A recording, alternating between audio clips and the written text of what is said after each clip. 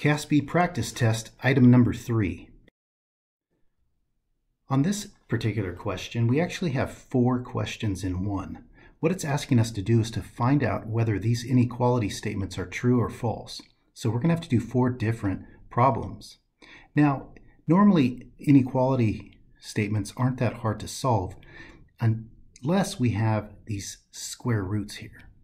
And you might not be able to use a calculator on these tests. And so what I'm going to teach you right now before we solve these is how to estimate a uh, radical that isn't a perfect square. So a little side lesson, estimating radicals. Here we have, I put square root of 1, square root of 4, and square root of 9. These are all perfect square roots, right? Um, we've got 1, 2, and 3. And I space them out um, like that on purpose because in between those, we have other radicals that fit.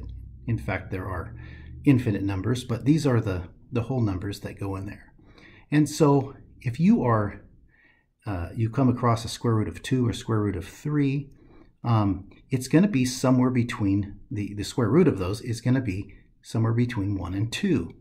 And, um, and if you look at the square root of 5 through the square root of 8, that uh, square root is going to be between somewhere between 2 and 3. And so depending on how close it is to which one, you can kind of estimate where it is.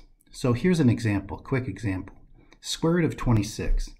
We want to think about what two perfect squares is 26 between. And it happens to be 25 and 36. Now, another side note, you should probably know all of your perfect squares. 1, 4, 9, 16, 25, 36, and so on. Um, anyway, uh, the square root of 25 is 5 and then 6. And so the square root of 26 is going to be somewhere between 5 and 6. And since it's really close to 25, um, you can bet that it's going to be around 5.1 or 5.2. Now, the reason that these estimates are going to help you, and you'll see on these next problems that um, it's going to be very obvious uh, which problem is true and which one is false. So let's take these one at a time. The first one we're going to take, um, we're going to deal with that square root of 37. Okay, and so we pick the two perfect squares that are uh, on either side of that, and it's 36 and 49, and since uh, which is 6 and 7. And since square root of 37 is real close to 36, it's going to be closer to the 6 than the 7. So I'm going to say about 6.1 or 6.2. Now, if you put that 6.1 or 6.2 into the square root 37, you can see that it's saying that that's less than 5 and a fourth. Now that is not true. 6.1 is larger than 5 and a fourth, so that answer is false. Let's take a look at the second one. The second one, let's focus on that square root 3. And that's between the square root of 1 and square root of 4 which is 1 and 2. So it's going to be somewhere between 1 and 2. And since it's closer to 4, it's going to be, oh, somewhere around 1.7. Okay, so we're going to keep that uh, off to the side there. Now let's look at 3 times pi. We know that pi is around 3.14. So let's go off to the side. 3 times 3.14 is approximately, well, it's more than 9. That's the way I put it, plus 9. It's, it's more than 9. Now let's look at 3 times the square root of 3. Now we determine that the square root of 3 is 1.7 or thereabouts. And that, if you multiply it out, that's going to be less than 6.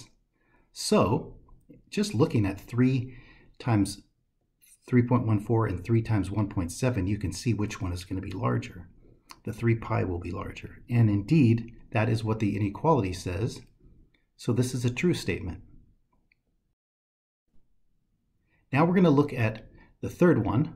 We'll look at that square root 5, and that's between square root 4 and square root 9, and which would be between 2 and 3. And it's closer to 4, so I'm guessing it's going to be about 2.2 or thereabouts. And uh, if you replace the square root of 5 with 2.2, you can see that is larger than 5 sevenths, which is less than 1. So that is a true statement. It is greater than 5 sevenths. Now we're going to look at the last one, and we're going to look at that square root 10, and we're going to figure this out all out onto the side here. So square root of 10 is between the square root of 9 and square root of 16, somewhere between 3 and 4. And it's really close to 9, so it's going to be about 3.1. Now, what they want you to do is they want they have 15 divided by square root 10. Now, since uh, 15 divided by approximately 3.1, um, if you did that, if you just divided it by 3, it's about 5. It's going to be under 5, actually.